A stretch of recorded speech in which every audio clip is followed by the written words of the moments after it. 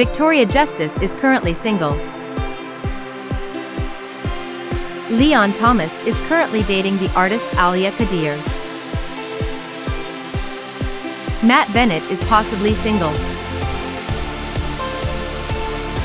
Elizabeth Gillies is married to the musician Michael Corcoran.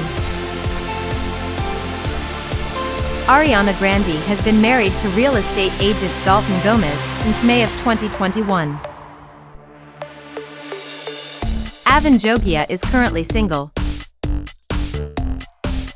Andrew Gardner and Daniella Monet got engaged on December 2017. It appears Michael Eric Reid is likely single. Matt Bennett is possibly single.